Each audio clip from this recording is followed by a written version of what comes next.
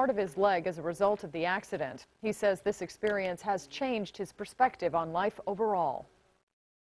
The brace will come off, but the amputated leg won't heal back up, so I'm going to have to get a prosthetic, so I'm going to have more appreciation for life. The driver has not yet been charged. Clark County investigators, though, are not sure if she knew that she even hit Justin.